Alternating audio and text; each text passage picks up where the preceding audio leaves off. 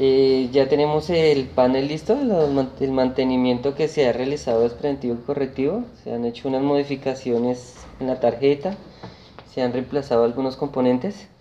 Eh, en esos momentos le vamos a suministrar el voltaje de, 5 voltios y ya vemos que en el display ya, ya se ve claro las letras. Entonces ya quedaría solo pendiente de las pruebas allá en planta.